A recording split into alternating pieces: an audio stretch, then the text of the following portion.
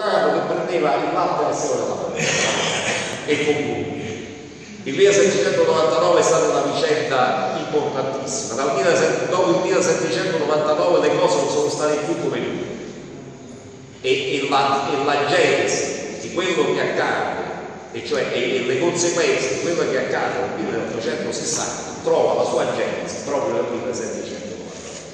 Ci sono state anche delle colpe della monarchia borbone? Sì, ci sono state delle colpe della monarchia borbone.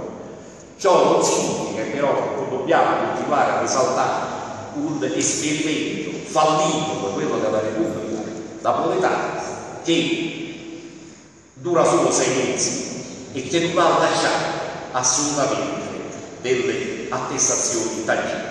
Questo non significa, non significa prendere le distanze perché si è partigiani, perché si è nostalgici del bel tempo che fu o per altre cose, significa ricordare la barra del timore a La storia è stata scritta dai vincitori, purtroppo lo sappiamo, basta leggere però le carte, basta leggere anche la cronaca, non Domenico Metromanzi, per rendersi conto di quello che veramente accade nel 1799 e di come ancora siano veramente ormai non più tollerabili delle semplificazioni che ormai anche dei più ingessati delle, delle accademie e degli atenei si continua, si continua a discutere. Vi ringrazio per la cortesia.